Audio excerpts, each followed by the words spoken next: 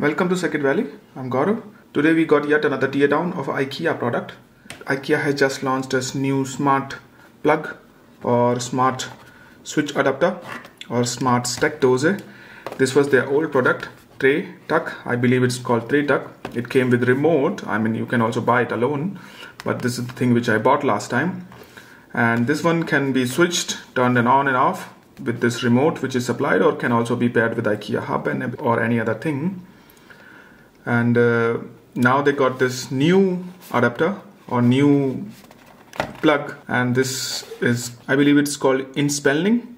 And what is does this thing offers as you can see here it offers a feature of measuring the power. I believe it has measurement circuitry inside. Our primary goal today is that uh, we will take it take a look at this product. We'll compare it with the we'll compare it with the TRETAKT how does it in appearance difference and we'll see how this thing works and how does it measure power and how good it is built inside.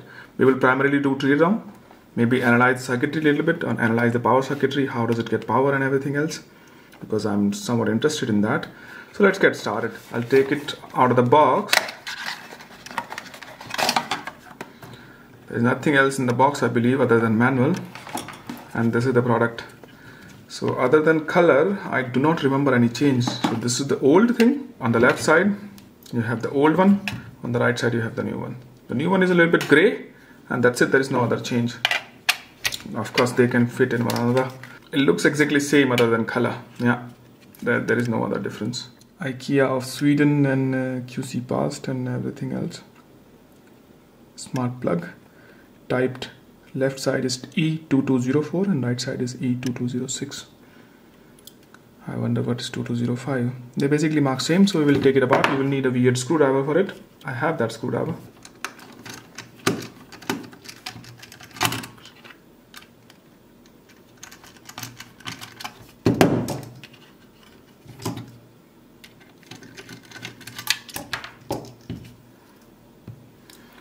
Okay so screws out. Same thing. We have to pierce this thing around and uh, we'll see if it works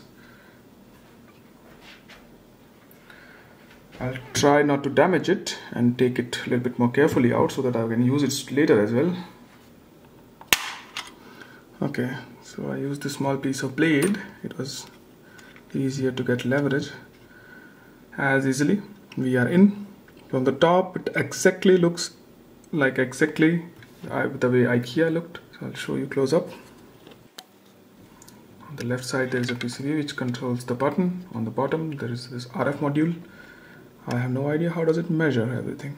So take it further apart. We need to first take off this glue a bit which is I believe used for thermal dissipation through the enclosure.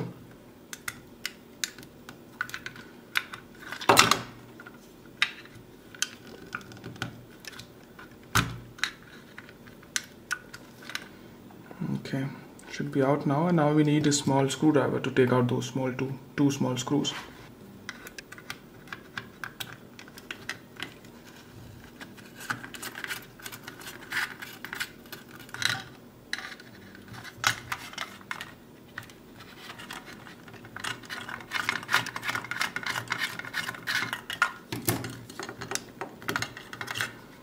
now it should just lift up.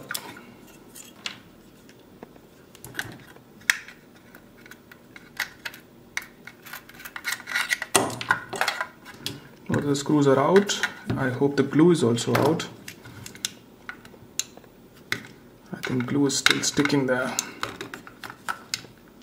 Maybe not from this side maybe from this side. So now it's coming out finally the glue is the only thing which is holding it there after the screws are out. Because that see the plastic is uh, damaged the screw. Yeah. And then not a not a big deal. Yeah both of the screws are there. Both of the buttons are damaged now. I should have kept them apart. Yeah because this glue is in the way of this plastic which is hindering us. So now we are completely out I guess so on the paper it looks exactly same. And I can tell you that IKEA was planning it all the way before. Because if you remember last tear down maybe I'll attach photos of the PCB somewhere. This IC was last time missing. This is the power supply we will analyze. I'll, toast, I'll show you the exact part number of every IC here. And uh, this chip is of course uh, normal multi-protocol MG21 chip. And uh, this is the rectifier and everything else. Rectifier the protection melt resistor rectifier and uh, capacitor for rectification. And uh, there is a very high voltage to direct low voltage DC conversion circuitry. And there is a 3.3 volt regulator somewhere here. So because of the logic operates at 3.3 volt and this IC was missing in the TRETAKT the old plug which cannot measure power. This IC was missing in there. So this is the this is the reason why they have this IC now.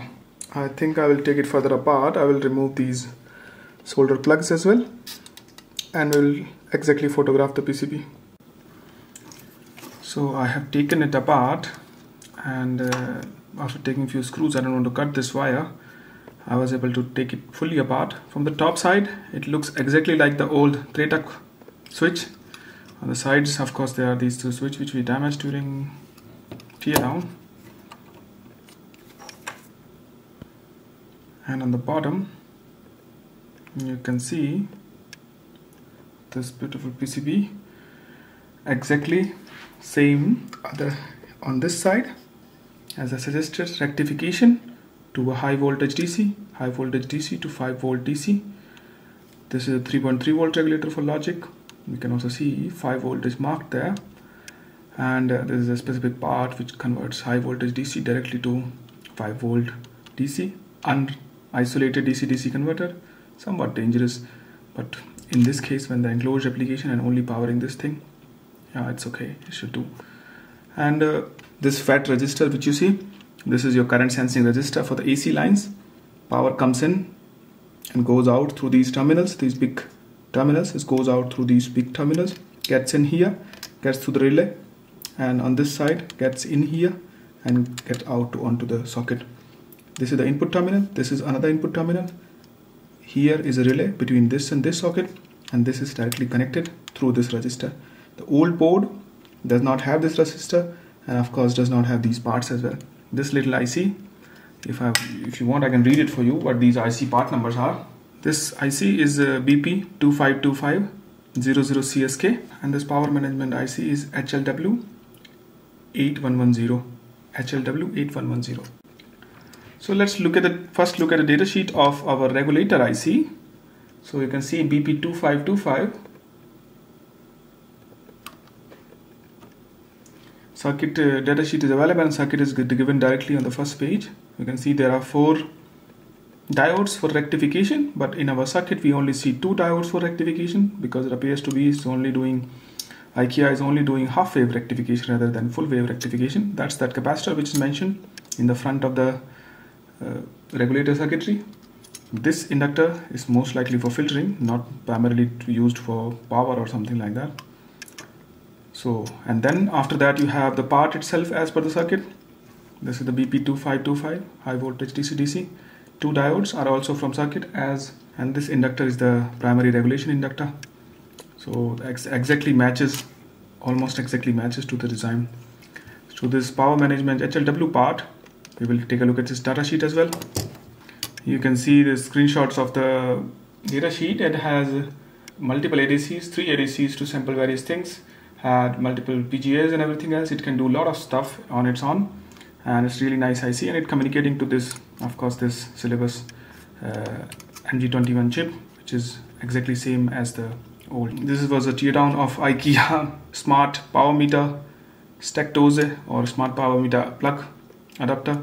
And uh, it can be operated remotely and can also measure of course power. I do not have uh, so that's it for this video. You can visit my website www.circuitvalley.com there are teardowns FPGA and really high-end projects going on there